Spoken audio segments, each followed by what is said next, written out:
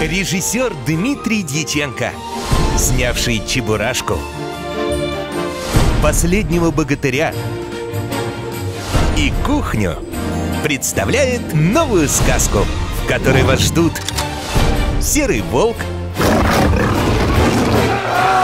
Мишка косолапый и дикие приключения. Бешенство. Это что за ваши медведи? Детей не пускайте сюда! В кинотеатрах с 23 февраля.